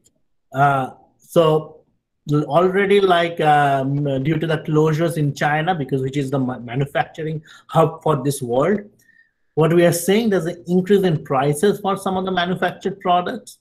Uh, it's very easy to go and check the how some of the electronic product prices has gone up recently because of supply uh, related disruptions. Because we live in a global world and we live in a very diversified production system. If the supply chain breaks down, uh, in a short term, we have no efficient way of running the supply mechanism. Just to give you an example, uh, there's a huge shortage of face masks in US. Now, face masks is, is a very cheap product, but the problem is this, nobody in the United States produces this face masks. The country depended on uh, foreign countries to import those face masks. Now, when those production stopped in those countries, in US, there was a huge shortage of face masks. So face mask prices went up by almost 5,000%. Uh, so there's a big increase. And most of many people died in the US simply because there was not enough ventilators to provide, uh, which is again a huge problem because our production process stopped. And finally, as I said previously, there will be increase in demand for certain kind of services like home delivery services. Uh, whether it's good, I don't know because we all know people who work in this uh, delivery services definitely is not the best paid people in the uh, profession. So these had implications. So these are some of the global and local impact. Uh, finally, like I'm going to talk about some policy responses. Again, policy responses can be short term or longer term. So first, first focus on the short term policy response. Short term, stabilize the aggregate demand provide generous unemployment benefits or direct cash transfer or guaranteed employment programs like NREGA. Because this is how you sustain the demand. Because people who are losing jobs, you know, need to provide income because if they stop consuming, companies or businesses are going to go out of business. So it's important that aggregate demand needs to be stabilized by whatever way, maybe government just providing direct cash transfer, does helicopter uh, money drop often in economics, what we say. Uh, second, provide low cost credit lines to businesses, which is actually happening. Interest rate is uh, historically very low. In US, interest rate is close to 0%. Uh, uh, even if you account for inflation rate in India, interest rate is very low, which you can see based on your, your savings account interest rate, which is actually going down by each day. Uh, so, but again, idea here is that that will help to uh, keep the cost of credit low. That will help the businesses to expand. And finally, like in the short term at least, there has to be a right balance between possible infection and gradual opening of the economy. Uh, now, in India, we did lockdown, but I'm not very clear how that lockdown really helped. Uh, because right now, when they came out of the lockdown, still infections are going up. So it's not about just close the uh, country for two months and then just open it up uh, suddenly. You have to go step by step. Uh, but again, nobody knows was was the gradual opening of the economy looks like. Again, we have to rely on the experiences from other countries. Some of the longer term policies, first, we need to cooperate at the cross national level. We need to strengthen institutions like World Health Organizations or uh, uh, or uh, International Labor Organization. We need to strengthen them to uh, take policies at the global level. And second, perhaps in future we institute policies like universal basic income. Now there have been talks about in India, even in the US, uh, that no matter who you are, if you live in a country, if you're a citizen of a country, you should be eligible for some basic income. Now, why it's important? Because we are living in a very uncertain scenarios. In an uncertain scenario, only way you can bring certainties if you provide a steady source of income to its people. Now, just to conclude, obviously we haven't seen a disaster or pandemic of this scale in last 100 years. Uh, so this is something very different. Uh, secondly, this is not a normal recession. We all closed the economy deliberately. That is not that uh, something wrong happened. We just decided we don't want to operate anymore because of health reasons. And we all know like uh, the last big pandemic we had was the Spanish flu in 1918. Uh, and because of this uh, experiences from those uh, uh, pandemics, there was a drastic shift in how the modern societies interact. So COVID-19 might be a, a, inflection point in terms of how we interact in a society or how behave, what we value. Uh, and finally, the great biggest challenge is this: we need to recognize the unknown part. Uh, policies needs to be informed. It can't be by whim or by dictate. But unfortunately, there's a due to the rise of authoritarian powers, what we are seeing is this policies are based on individual perceptions, not based on data, not based on uh, expert opinions. So we need to bring it back because otherwise we are basically uh, preparing for a bigger disaster because if these policies by whims fail, it doesn't help anybody. So I'm going to stop it here today, uh, right now. So I don't know if anybody has any questions or anything. So I'm going to stop sharing. Uh, thank you, sir. Uh, there is a question in the chat box. May I uh, read it for you? Yes, please. will COVID, it is from Arup will COVID-19 crisis bring a pandemic uh, shift in bringing global manufacturing hub from China to India?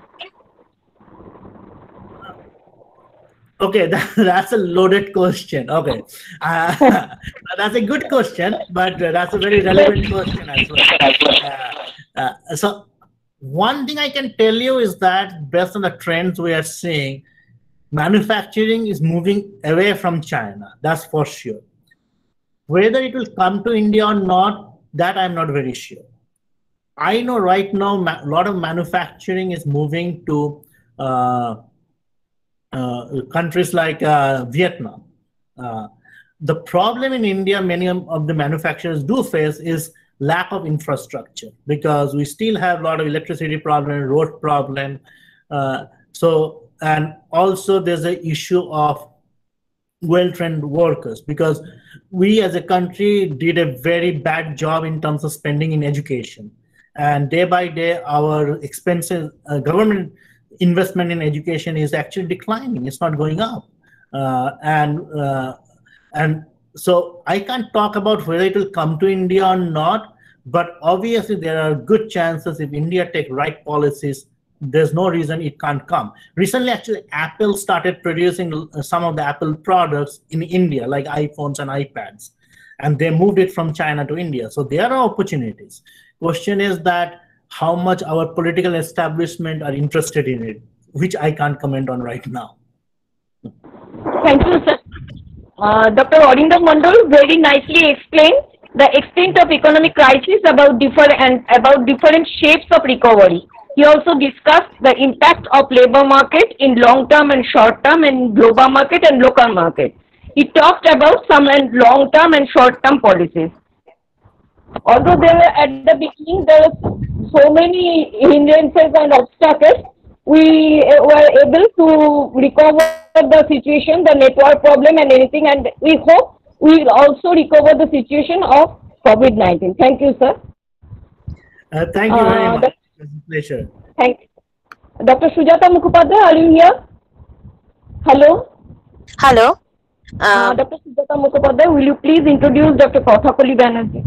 Yes madam yes madam তো আমরা doctor Arindam মন্ডলের ভাষণ শুনলাম কিছু যান্ত্রিক গোলযোগ হওয়া সত্ত্বেও আশা করি আপনাদের প্রত্যেকের ভালো লেগেছে এবার যাকে ডেকে নেব তিনি ডক্টর কথাকলি বন্দ্যোপাধ্যায় তো তার আগে একটুখানি তার সম্পর্কে বলে নি ডক্টর কথাকলি বন্দ্যোপাধ্যায় তার আইসিএসসি করেন সেন্ট স্টিফেন স্কুল এবং আইএসসি অক্সিলিয়াম কনভেন্ট থেকে।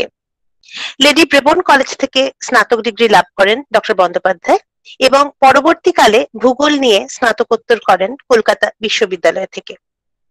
এখান থেকে তিনি জুনিয়র ও সিনিয়র রিসার্চ ফেলো হিসেবে গবেষণা করেন। এছাড়াও আন্নামালা ইউনিভার্সিটি থেকে পপুলেশন স্টাডিজ নিয়ে স্নাতকোত্তর করেন এবং পিজি ডিপ্লোমা করেন এডুকেশনাল অ্যাডমিনিস্ট্রেশন অ্যান্ড সুপারভিশনের উপর। ডক্টর বন্দ্যোপাধ্যায় এমবিএ করেছেন সেন্ট জেভিয়ার্স কলেজ এবং পন্ডিচেরি ইউনিভার্সিটি থেকে ট্রেনিং বেসিসে women's college Ashutosh college Srirampur college saint Xavier's college ও বিদ্যাসাগর ইউনিভার্সিটিতে বিভিন্ন সময় তিনি কর্মরত ছিলেন। পশ্চিমবঙ্গ ভূগোল মঞ্চ থেকে জুনিয়র সায়েন্টিস্ট হিসেবে তাকে পুরস্কৃত করা হয়। ডক্টর বন্দ্যোপাধ্যায়ের লেখা প্রকাশিত হয়েছে ভূগোলিকা ডিকার্ভ পাবলিকেশন এবং ইএসএন থেকে। এছাড়াও দুটি বইয়ের প্রকাশনায় তিনি সহকারী সম্পাদক। তিনি এখন সুবর্ণরেখা মহাবিদ্যালয়ে সহকারী অধ্যাপক হিসেবে কার্যরত এবং জঙ্গলমহলের মহিলাদের বিষয় নিয়েও তিনি কাজ করে চলেছেন নিরন্তর। ডক্টর কথাকলি বন্দ্যোপাধ্যায় আপনাকে অনেক স্বাগত জানাই এবং আপনার বক্তব্য পরিবেশন করানোর জন্য অধিক অনুরোধ করছি। অনেক ধন্যবাদ, doctor Sujata Mukhopadhyay. Very good afternoon to all I provide firstly my heartful gratitude to doctor Soma Ghosh honourable principal of Hiralal memorial college for women for providing me the opportunity to act as a speaker I also provide my heartfelt gratitude to Sri Pradipta Mukherjee, webinar committee convener, and last but not the least, to my dear Shonali Dr. Shonali Mukherjee, and Dr. Pritha Kundu, the joint organizers of this webinar. Uh, without losing any time, I will be directly entering into my part. Uh, shall I be uh, presenting my screen?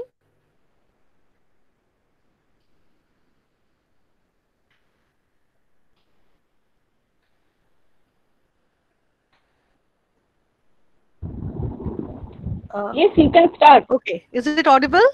Am, am I audible? Is it? Totally audible. Yes, and the screen is visible, ma'am? Yes, visible. Okay, okay. Thank you. Now, basically, we know that COVID crisis has truly changed our concept and has definitely made an impact on our modern life. The true aspect of pandemic has more or less affected each and every actions of the world and have truly made the human beings at a stake. And you know, the human beings have turned out to be someone and they don't know that how to fight with such invisible virus. The effect of this pandemic has been for a long time and definitely uh, though this pandemic is only six months old and people are mostly aware of its devastating effect it is being found to be consensus in every field but we cannot wait as we do not have any stipulated time period and we do not know that when it will come to an end so at this stage as far as the uh, topic of the webinar i could only say that don't worry about things you can't control now, what is this new normal? Now, this COVID is going to stay for 100 years. No, no, no. Don't get panic. It's not the COVID, but definitely the pandemic may go in the next two or three years, but its effect, which I'm talking about, will be remaining for next 100 years. Now, if we look at the various reports and everything and whatever news that is coming up in various newspapers, we will find that there occurs a great setback to various women employees of losing jobs, of reduction in salary and uncertainty, insecurity in their present jobs. But is it so? If we look at the reports of the journals, the WHO's declaration, we will analyze that every woman has been going through a very gloomy time. The gloomy faces of this working woman has become the sign criteria of this modern world. But don't we think of unlocking this gloomy face into a happy face? Definitely we can do it because with no jobs and moreover with more and more family pressure, women has now turned into a nuisance in their home. But it is the right time to make them happy. And what are the various opportunities and jobs that can be ascertained to the women of this modern sector? Now, let me first analyze that who is a woman entrepreneur? Woman entrepreneur may be defined as a woman or group of women who initiate, organize, and run a business enterprise. But however, hell thou, in this pandemic time where we have no opportunity of business, how could we thought of having a woman entrepreneur who is who are really losing their entity? If we once again look at the various war reports and journals, the three common terms that we are going to view is loss and failure, cry and hue, and loss of financial support.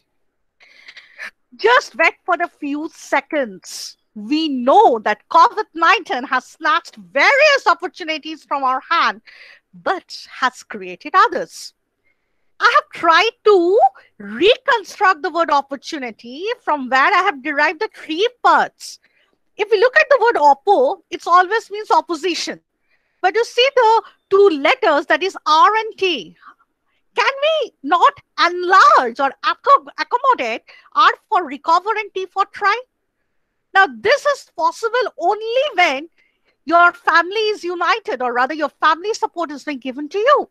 So don't be unhappy and just wait for a few seconds to see what is going on. Now, what is a home based business?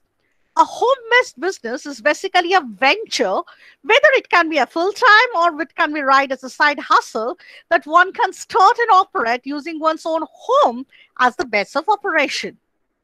Now, what are the criteria or why should we move for home-based business? A low investment business idea has very few overhead costs.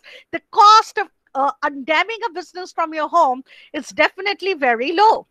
The option to sell products or services locally or internationally is always being provided when you do business from home when you have a flexible work and life balance, which you don't need to move out, as Sir was telling in the previous presentation, that now you can work from home. You don't have that hustle and tussle to move out from your home and to move or migrate to your workplace. You have to go through the so many curses and everything.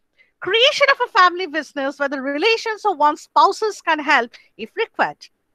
Now, I know that as a woman, there are certain questions that evolves around us how to work from home, when to work from home, household chores, how to look after the household, so many work to be done in a house. And obviously, child bondage is always there, especially in countries like India, where social customs plays the most important role.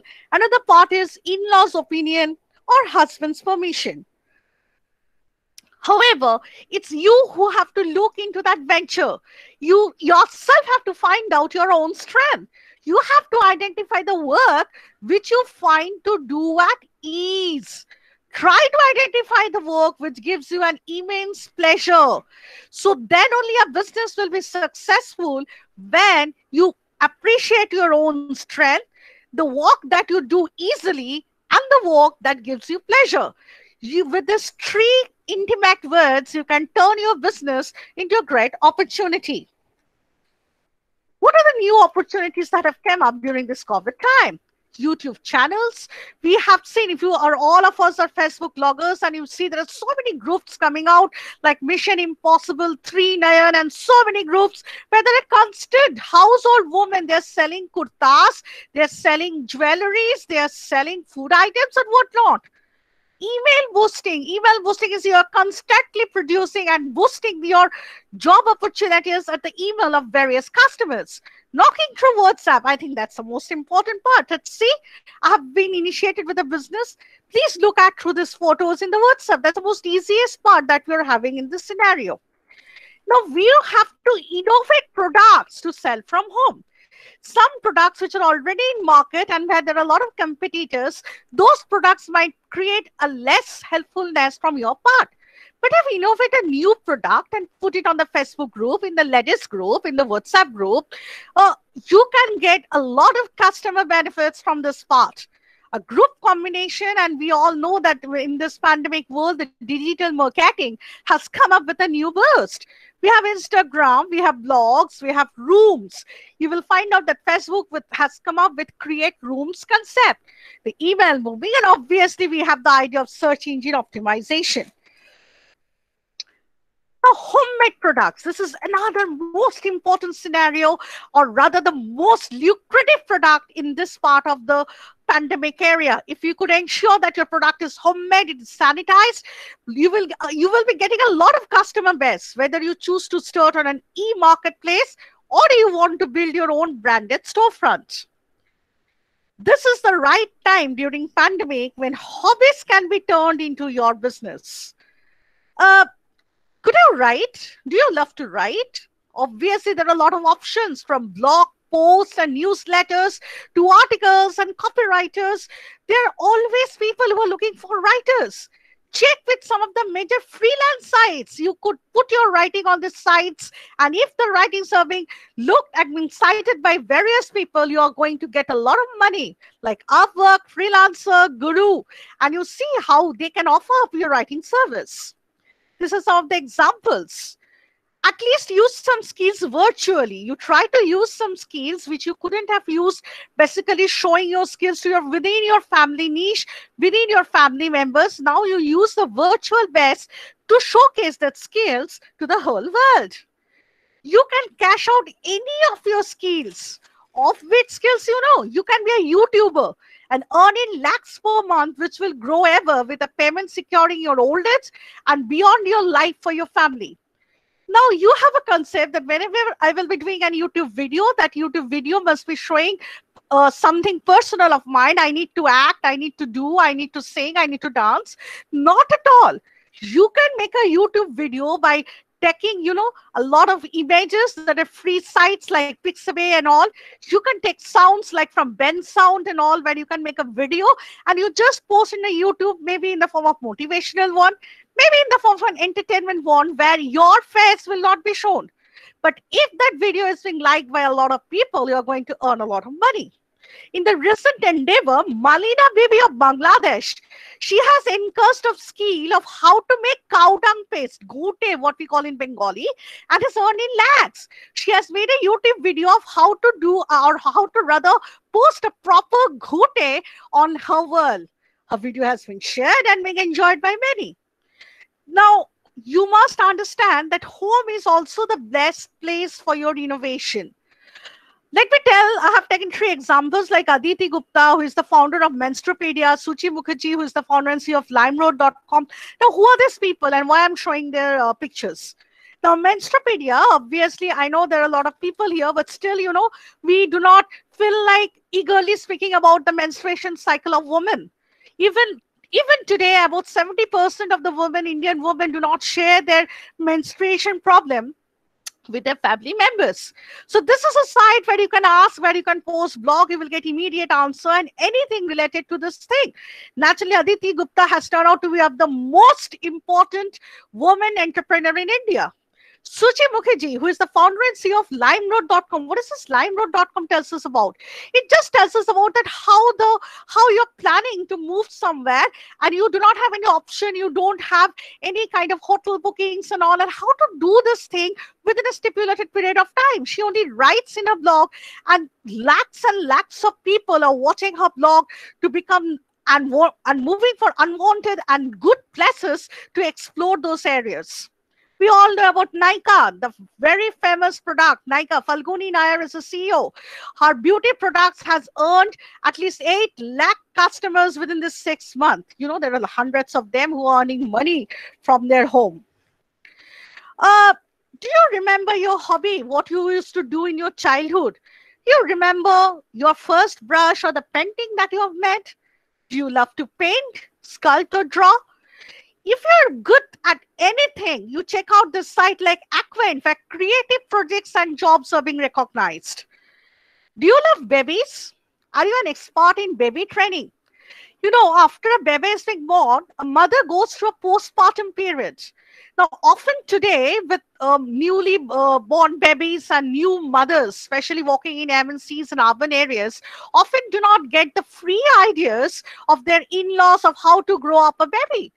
You can be in 24 hours and 12 hours virtual babysitter from your own mobile, constantly looking after baby and, baby and giving her the opinion to the newly well groomed mother how to grow up that baby. Even the YouTube video of Nabida Chabani, you know, she's an old woman who lives in Dharavi slums, has earned a lot of fame and money, who has only shown the way how to massage, how to oil massage the newborn babies. Because this is a very new thing which most of the newly uh, mothers and new mothers are not at all aware of because this has been uh, going on in our generation from the background of our grandmothers and great grandmothers and so on. I have made a telephonic survey analysis when I got, got this topic from uh, uh, Now, what I found some three, two or three assumptions, I'm just sharing it with you. About 65% of non-working household urban women have shown their willingness to earn money if it is from home and have flexible timing. About 70% of non-working urban women have confessed that they're digitally illiterate. They do not know how to handle computers and all. But they're willing to learn if proper opportunities are being provided to them. Don't panic. There are ways. About 46 of them has revealed that they do not know anything, basically other than chatting even one can use a chatting skills for earning money. Your gossip may range from Rhea Chakraborty's acquisition newly to that of your neighbors wearing a Benarasi mask. Go for socialsamosa.com. There you give the Indian Tadka.com. You give your Indian Tadka and Indian gossip, and you will find that your gossip with the way you're speaking, the way you're talking, is being shared by so many people, and you will be earning money. Don't think ever that your skill, or rather, you are skillless can I talk continuously? Can I laugh continuously? Whatever be your skills, you must remember that every skill is paid. But there is a but. It is only paid when you are outskilled in your specialty. Everyone can love, but you can love something uh, in a some uh, lucid manner, which is not at all being affected to normal people. Go for that. Go for uh, making a YouTube video and see how many people are liking that video. Uh, now, the main target of women entrepreneurs is obviously to be innovative and unique. Now, let me share you a business startup of Bonglish. Now, this Bonglish has become very famous, you know, during this COVID time. What they do now during this COVID time, most of the people, they are not moving out to the market for buying fishes and all. They do, it's a group formation, or rather, it's a business startup of 15 women who takes care of your fish that you're going to eat you sit at your home, you order a fish, and you see they will be when when they will be cooking the fish, they will be live streaming the video to you, either in WhatsApp or anything. So you are looking, it's a live barbecue. You are looking at your fish being cooked in a very sanitized manner and all, and you are happy, and they're just giving you the products at home. So COVID-19 is not a matter during or for any kind of business opportunities.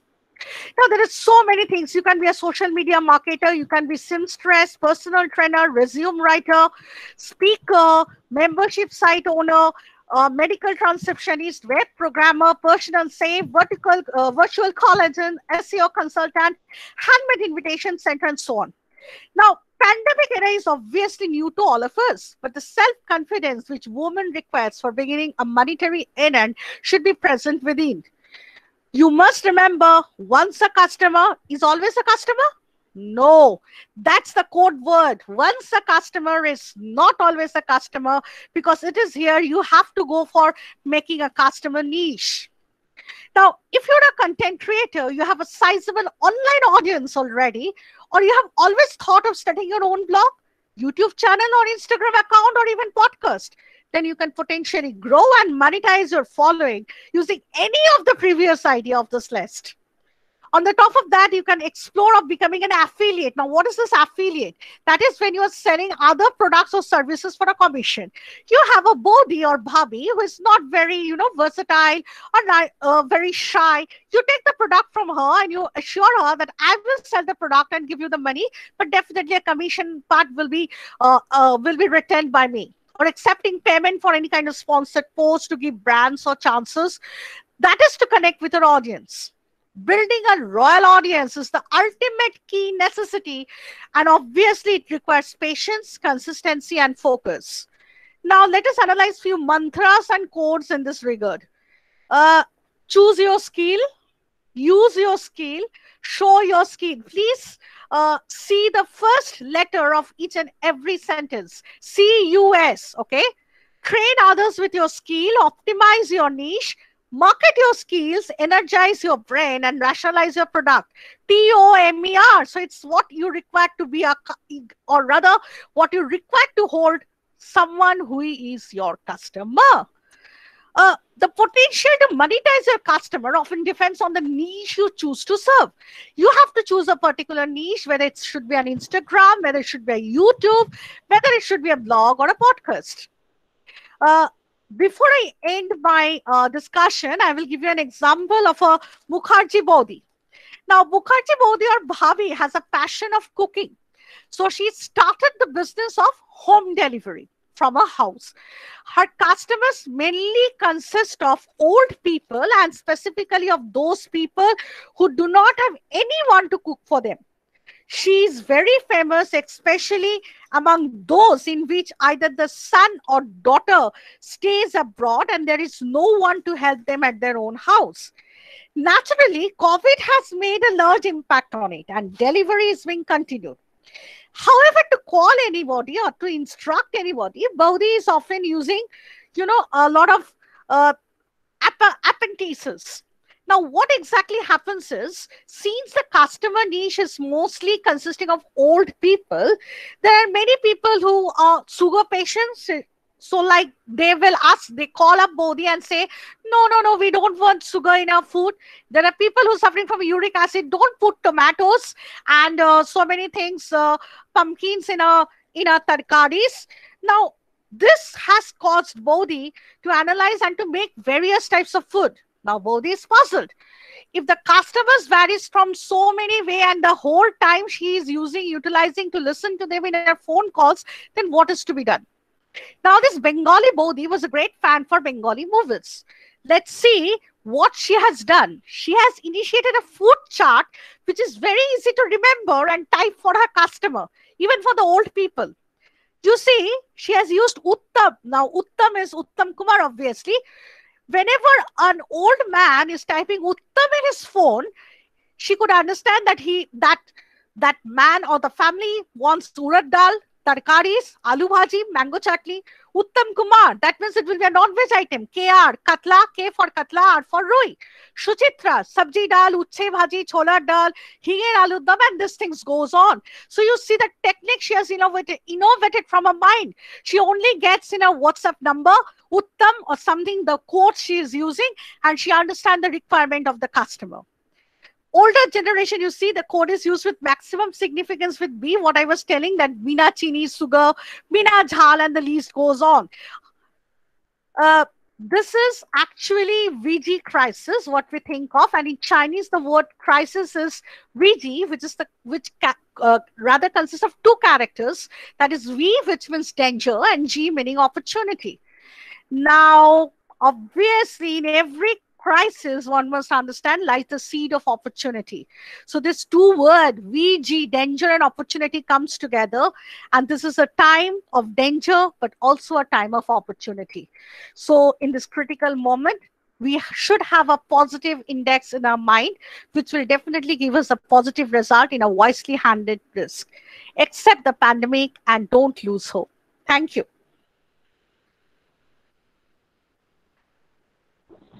Thank you, Dr. Kathakali Bandyopadhyay, for such a nice session.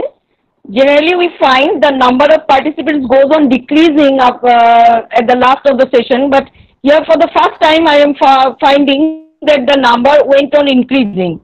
Anyway, we came to know so many about so many sites and thank you once again. Uh, now may I ask Dr. Rupa Singh for uh, vote of thanks? Hello? Uh, Hello? Yes, ma'am. I'm there. Yeah. Yes, yes, I can hear you. I can hear you. Hello? Okay, madam. Yeah. Hello, yes. Okay, Uh, madam, please. Ah, no duty is uh, more inter- urgent than that of returning thanks, and we have uh, finally come to an end.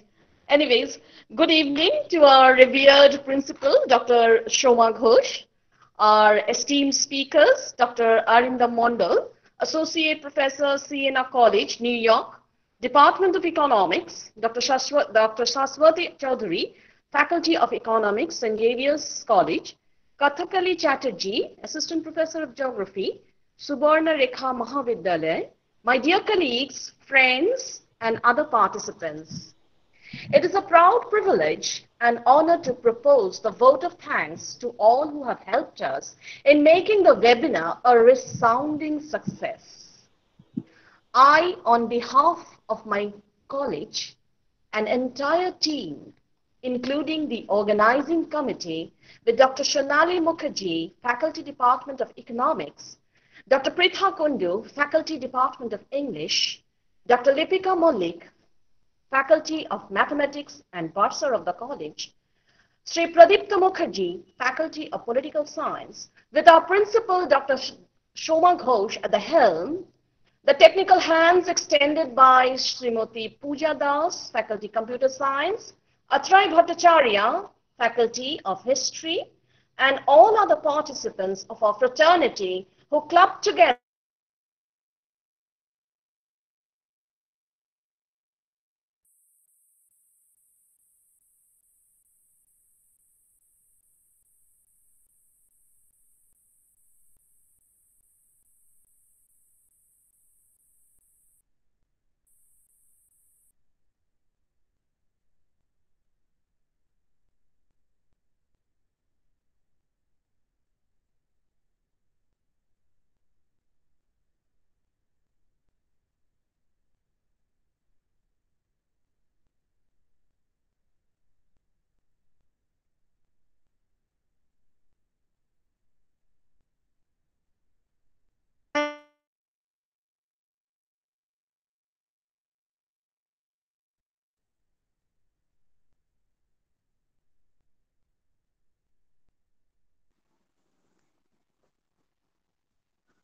Uh, Rupa, uh, Dr. Sen, you are not audible. Please switch off your connection and uh, join again. It will. It may help you. Put off your connection and join again. But uh, before Rupa takes over, I must say that uh, every lecture was so wonderful and academically so illuminating. But I'm really impressed with Dr. Chatterjee and I'm thinking of taking up uh, such measures after my ret- retirement. Rupa, are you there? Yes, I'm there. Hope I was audible. Fine, fine, fine, fine. Yeah, you, you are audible now. Yeah. Now, I was audible till the end, I hope. Was I audible till the end? No, no, no. Oh, But for some mom, some time you were not audible. there were some technical issues. I- yeah, yeah, yeah. There, there, Thank- uh, this may so happen. Please continue. Uh,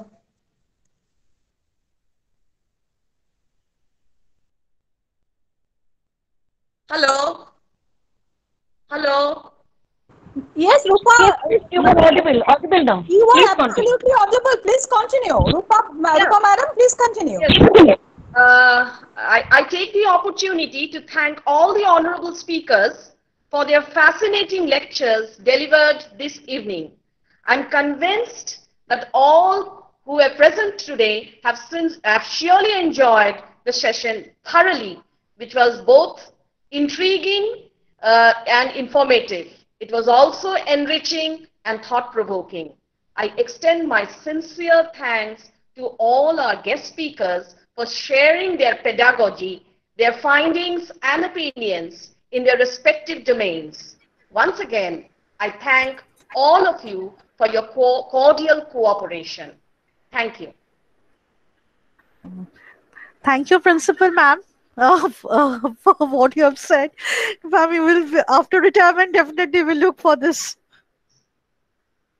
So there is no point to lose hope, no? No, there, ma'am, no point that to lose you have hope. taught. That you have taught us. As a woman, there is uh, there are a lot of obstacles in uh, in our life, but we should not be losing our hope.